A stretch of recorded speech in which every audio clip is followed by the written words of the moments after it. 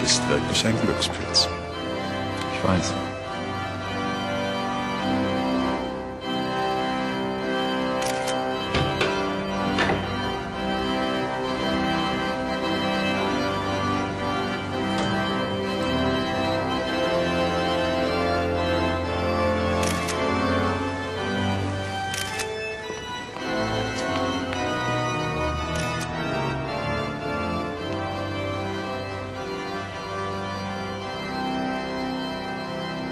Liebe Familie,